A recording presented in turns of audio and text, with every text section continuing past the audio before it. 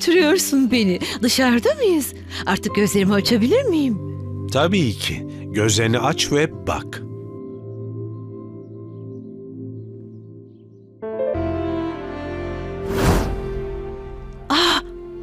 Deyip bu... Bu bizim arabamız mı?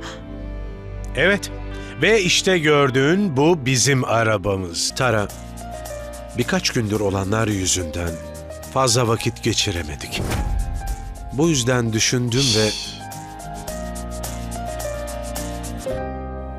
Sen bu hediyeyi alarak bana hayatımın en güzel mutluluğunu verdin zaten. Ve şunu düşününce çok mutlu oluyorum. Sen benim yanımdasın. Yoksa çok korkuyordum. Gerçekten o bana benzeyen Arohi'yi sevmeye başladığını sanmıştım.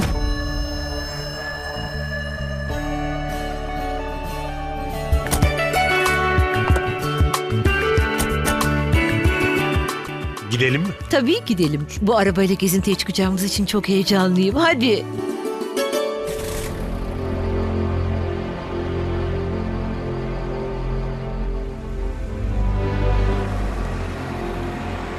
Merhaba hala günaydın nasılsın?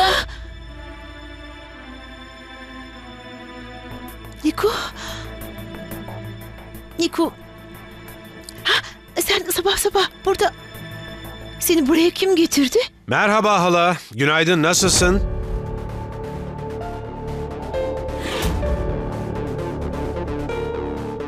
O benim halam senin değil. Sen eşine hala dedin. hala deyip enişte beni buraya getirdi. Çabuk kalk hadi. Ben oyun oynamak istiyorum. Sonra da alışverişe gideriz. Bugün tatil günüm o yüzden boşa gitmemeli. Çabucak hazırlan hadi. Ben top oynamaya gidiyorum. Hoşça kal.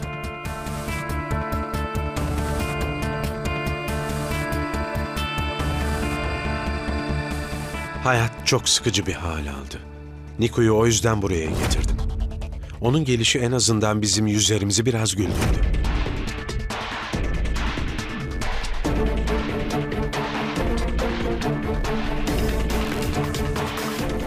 Ben kahvaltıyı hazırlayıp geleyim.